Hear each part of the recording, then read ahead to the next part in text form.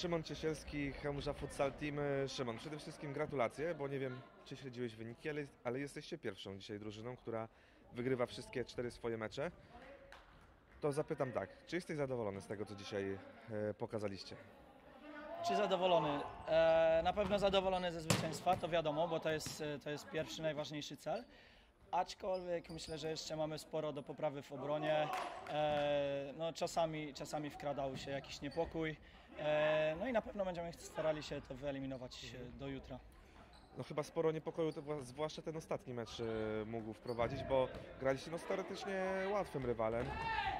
Prowadziliście 3-0, niby już wszystko ustawione, a końcówka była jednak nerwowa. Co takiego się stało, że, że pozwoliliście, że daliście jeszcze rywalom nadzieję na to, że, że mogą was dogonić?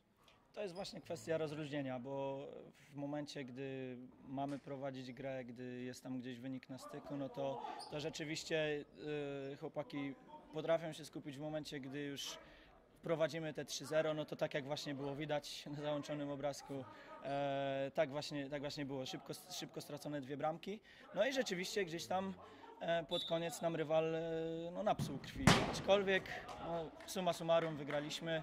Bardzo dobrze, że do karnych nie doszło, no bo jak wiadomo karne to zawsze loteria, nie? Na, taką, e, na takie rozluźnienie już na pewno nie możecie sobie pozwolić jutro. Mało czasu na regenerację, bo zaczynacie od razu o dziewiątej. Hawana, Brzozówka, FC Extra Paintball. Jak się widzisz w tym towarzystwie? Drużyny gdzieś tam e, znane mało wiele, tak, e, z, z toruńskich bardziej orlików myślę, e, nie parkietów. Więc tak szczerze mówiąc, no ja nie jestem w stanie powiedzieć zbyt wiele o nich. Nie miałem przyjemności zbyt wiele pograć. Z chłopakami z Brzozówki rzeczywiście tam kilka razy. No i tam pojedyncze mecze rzeczywiście z tymi pozostałymi. Cóż, e, myślę, że jutro już nie będzie słabych, e, słabych przeciwników, dlatego też na pewno, na pewno kwestia takiego rozluźnienia będzie, będzie strogo karana.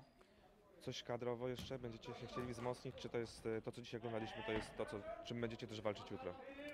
To zależy. Istnieje taka opcja, że rzeczywiście faktycznie może ktoś dojdzie, aczkolwiek e, nic nie jest pewne. Tego, tego nie jestem w stanie powiedzieć. Rozumiem. Dziękuję bardzo i do zobaczenia jutro rano. Dzięki.